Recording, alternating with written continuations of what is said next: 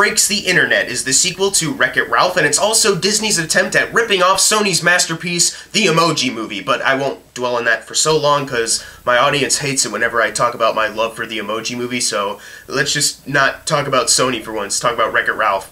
In this film, the wheel on the Sugar Rush arcade game completely breaks off due to some incidents, and Litwack, the owner of this arcade place, is about to unplug Sugar Rush and have it scrapped. So Vanellope and Ralph have to go onto the internet to find this wheel on eBay, and they find out that the internet is this vast kind of exciting, kind of dangerous place. I adore the first Wreck-It Ralph film. Like, I really do love that film. Loved it ever since I first saw it in 2012 to now. Every time I see it, when it starts to get near the end, just something hits me and I start to cry a little bit. It's just one of those films that really reaches out to me all the time and I adore it so much. So when I heard that they were going to make a sequel, I was excited for the longest time because I adore the characters so much and I think the world just has so much potential for story.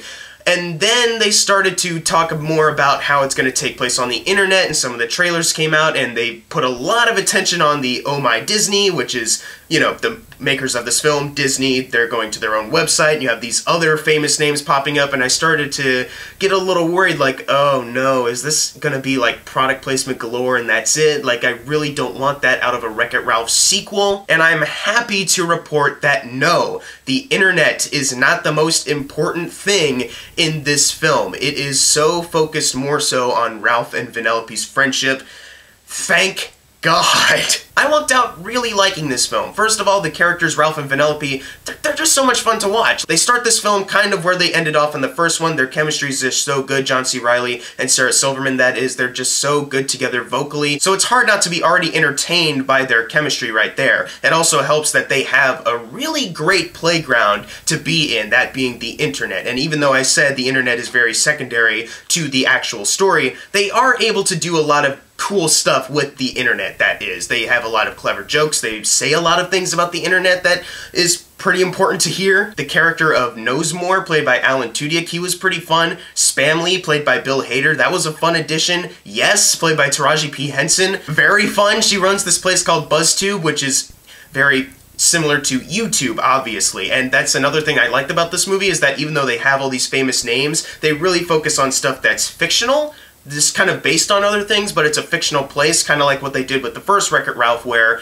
they had Fix-It Felix Jr. and Sugar Rush as the primary worlds that you were in, these made-up games, as opposed to all these famous ones that they kind of referenced in the background. And besides BuzzTube, they also go to this online game called Slaughter Race, where they get meet with the character Shank, played by Gal Gadot. She was also a lot of fun. They introduce a lot of really fun characters in this film, like none of them came off as annoying or unnecessary, they all really do fit in with the narrative. And speaking Speaking of that narrative, why I really walked out really enjoying this film is because this movie has a theme that is much more mature and goes in a much more mature direction than I ever would have expected this movie to actually go in, which I, I'm, I'm sure I'm not sure why I was surprised by that because I thought the first Wreck-It Ralph was so good and so amazingly touching, but the second one, I guess maybe it was the internet stuff that was throwing me, but it actually goes in a lot of interesting emotional places that I had a lot of people in my audience crying. I wasn't crying with them. Like the first movie, I, I could still cry at that, but this one, I was close to it though. I was very close to it because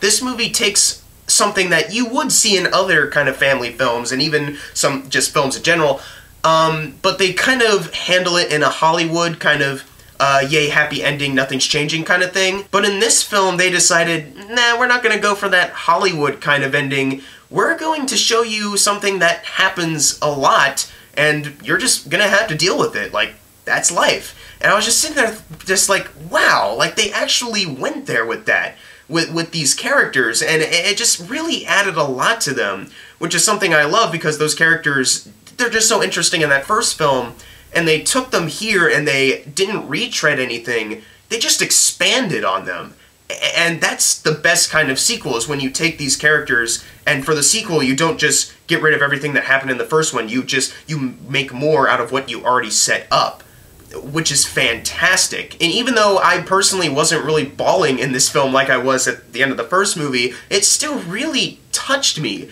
in a way that just i felt so sentimental over it where i was kind of just like oh they're actually doing that. Like i felt a lot of heart with this which is why I really love how they handled the internet aspect, is that the internet isn't really primary, it is secondary. It just serves as this playground for them to be in and to flesh out this story, which is much more important than that. The story itself is just so well delivered because of the internet landscape that they're in. And that was fantastic my worries of them just focusing on product placement and oh my Disney just completely thrown out the window because even though that product placement is in there, you recognize all these names and the Disney princess sequence is pretty fantastic and really funny and it's just a little meta too. There's if you look closely at like their clothing at certain points, like it's really funny. And they also say a couple lines that are a little meta. All that stuff is fun and it's not handled in a way that's just kind of cynical, but they also decide hey, this is really fun, but we need to back down on that because Vanellope and Ralph, these are the two that we need to follow. This is their film. And just because they're in the internet doesn't mean that we're going to have the internet just completely take over.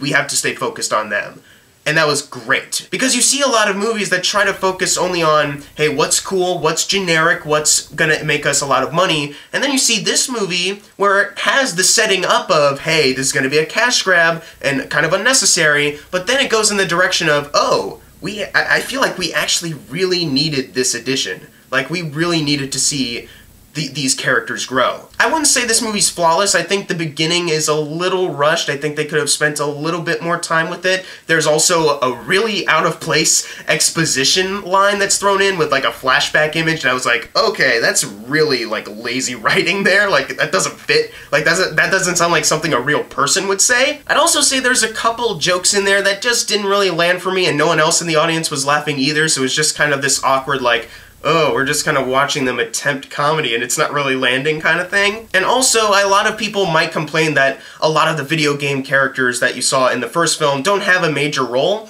and they just kind of show up for a little bit. I was fine with that. Like, really, this movie is Ralph and Vanellope, so I was fine with those characters being much more, much more background. But Fix-It Felix and Calhoun, they have this scene in the first act that the way it's structured and the way it's kind of placed in with everything else, it feels like it's going to branch off into its own subplot that may, might just work back into the main one at some point, but it's really just there just to give Ralph some inspiration for something, and then to also make a joke about, like, near the end of the film, and that joke was funny, and I liked that uh, that that one scene gave inspiration to Ralph to actually go onto the internet, but I think it, it, could have just been edited a little better instead of making it feel like it's gonna uh, be this whole story. Just maybe rework it so it just feels a little bit more like, okay, this isn't really gonna lead to anything, it's just the small joke. Other than that, I really enjoyed this movie a lot. It's very funny. It has a lot of clever ideas just with how they use the internet, but also with how they treat these characters and how mature it gets. Like I said, this movie is not going with a typical Hollywood ending. They really do go for something that will reach a lot of kids and a lot of adults too, and they'll be like, you know what? That's a great moral. And it's something that I do think a lot of children need to learn. And and for me, I was watching it and I was like, this is another thing that I can really relate to. And I'm glad that they did that because it just it, it taught me something that needed reassuring, basically, for me. Uh, that's all I can really say without spoiling it. You have to really go in Uh, knowing as little about that theme as possible, I think. Just know they do a lot of really funny, clever, deep things with these characters, and the characters are all great, the new ones that they introduce, and also the old ones that you love and don't want tarnished. The internet product placement, it's not that distracting, and it doesn't really entirely feel like product placement as you're watching the film. It just feels like they needed it in this story. The animation is vibrant and lively, and it's fantastic, but you already knew that, of course. In this review, I just really wanted to focus on how much I love that theme that they did, and even though this isn't a flawless film, I can definitely see myself rewatching this later on and, and getting a lot out of it still. I'm gonna give Ralph Breaks the Internet a B+. plus. It has its issues here and there. It's not a perfect sequel. I still prefer the first one, but my god, did it really surprise me in a way that I, I really wasn't expecting. And I really, really hope Rich Moore, the director, uh, does more things because he also directed the first one and was involved with Zootopia as, as the director. So I really hope he has a bright future ahead of him with more animation projects because really does have a talented voice out there that, that I think needs to be expressed more. But if you've seen Ralph Breaks the Internet, leave in the comments below what you thought of it. And as always, thank you guys for watching. Make sure to subscribe. I'm Jackson Fulcher. See you guys next time.